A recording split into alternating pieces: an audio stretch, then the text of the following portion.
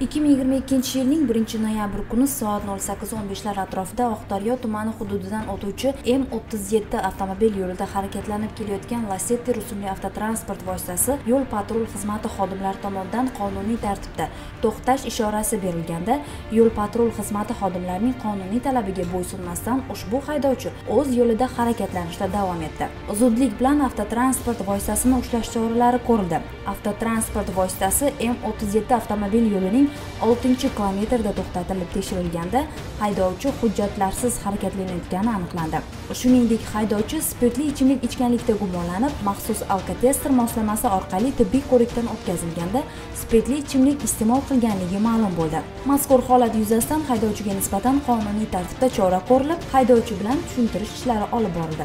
Malta haydovchi nima sababdan yo'l patrul xizmati xodimini qonuniy talabiga bo'ysunmasdan spirtli ichimlik iste'mol qilib transport vositasi boshqardingiz? Kecha bolalar bilan o'tirib sal ichuvdik shu qo'rqib haydab qochib ketdik. Doim baribir ishladi. Shu hammaga ichmaslikni tavsiya qilaman. Ayni yomg'irli kunlarda barcha haydovchilardan yo'llarda hushyor va sergak holda yo'l harakati qoidalariga amal qilishlarini so'rab qolamiz.